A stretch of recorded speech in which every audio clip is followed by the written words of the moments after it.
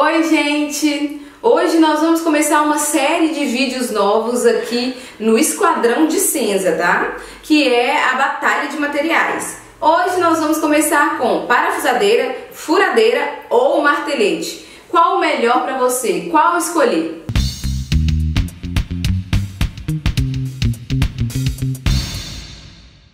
E nós vamos começar com a furadeira. Vocês já devem ter visto, claro, a gente mexer muito com furadeira aqui. E essa daqui que eu tô pegando, eu tenho duas opções aqui, mas existem vários modelos com potências diferentes, com utilidades diferentes, enfim. Mas eu tô com dois modelos aqui. Um, ele é um pouco mais amador. Ela, a potência dela é de 600 watts. E existem modelos até de 350 watts de potência. Porém, ela por ser 600 watts e por uma profissional ela ser de 700 watts para cima, ela é um meio termo. Então, se caso você não for ter um uso constante, usar todo dia essa furadeira, se você não for requerer muito dela, tadinha, ela vai aguentar assim muito bem. Se for para uma casa mesmo que precisa de uma furadeira para furar uma parede de vez em quando, fazer um trabalho aqui, outro ali, essa daqui vai suprir as suas necessidades tranquilamente. Agora, nós temos uma outra que é de 800 watts de potência aqui. Ela é bem pesada, pra mim ela é bem pesada. Essa daqui ela é ótima, ela já é para um uso mais constante, caso você precise, já aguenta mais, tem uma potência maior, é mais pesada. Então você precisa ver qual, o que, que você vai fazer com ela. Antes de comprar qualquer ferramenta, é o que, que eu fazer com ela. É só para uso de casa? Eu, eu vou usar todo dia? É para trabalho? A gente tem que pensar nisso. Essa daqui é uma ótima opção tanto para fazer em casa, claro, como para um uso um pouco mais pesado. Outra coisa importantíssimo também que se deve saber é qual broca você usar para cada tipo de serviço que você vai fazer, porque cada uma tem a sua especificação. Essa mesmo. Essa é pra você furar a parede, concreto, porque ela tem uma vidia na ponta, que inclusive eu já falei isso em um vídeo aqui do canal. E essa daqui é de madeira. Mas você tem outras opções também. Eu tenho essas duas para mostrar para vocês, que é o que eu mais utilizo aqui. Se você utilizar uma broca que não é para fazer o serviço, pode acabar com a sua broca, tá? Além de danificar o seu material também, seja ele madeira, metal, é melhor sempre fazer com a broca correta. Vamos agora então para parafusadeira. Como o nome já diz, né, gente, ela serve para parafusar.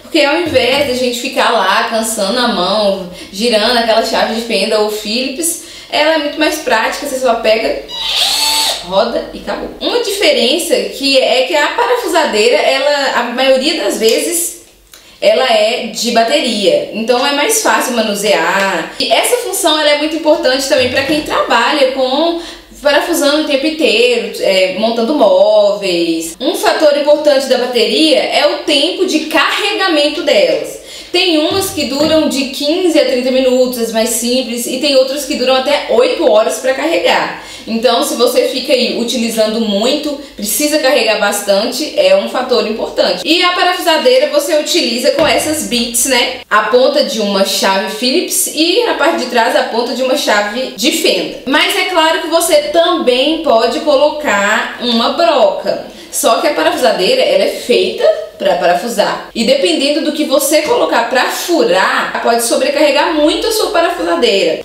Vamos então para o último, porém não menos importante, que é o martelete. Gente, esse martelete ele é para uso profissional mesmo. Eu não vejo muito sentido em uma pessoa que vai utilizar apenas em casa com coisas domésticas comprar um martelete, porque ele é mais potente, ele serve ele tem a função martelete e tem a função furadeira, mas ele é um martelete que é utilizado para descascar reboco, tirar pisos. Eu utilizo ele mais para retirar pisos mesmo. É, e a gente consegue até ver, ver uma diferença no som dele, porque ele é como se fosse aquelas britadeiras gigantes, porém de uma proporção bem menor, claro. No caso do martelete, a gente encaixa essa peça que é como se fosse uma talhadeira que você coloca e vai mesmo fazendo esse impacto e retirando. Tem algumas peças de, de piso que você consegue tirar até inteira, mas aí você tem que ter muito cuidado e muita paciência. Tem uma potência muito grande para furadeira também, inclusive muitos profissionais eles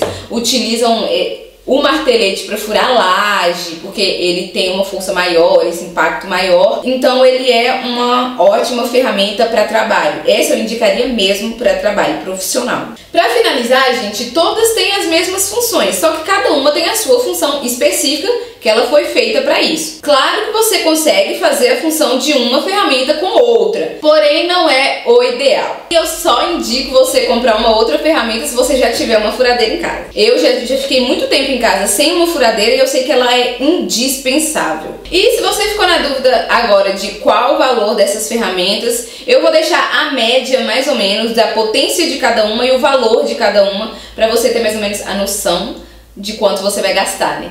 E é isso aí, gente. Eu espero muito que vocês tenham gostado. Não esqueçam de se inscrever aqui no canal e de deixar o seu joinha nesse vídeo. Me sigam nas redes sociais que eu vou deixar aqui pra vocês. E até o próximo vídeo. Tchau!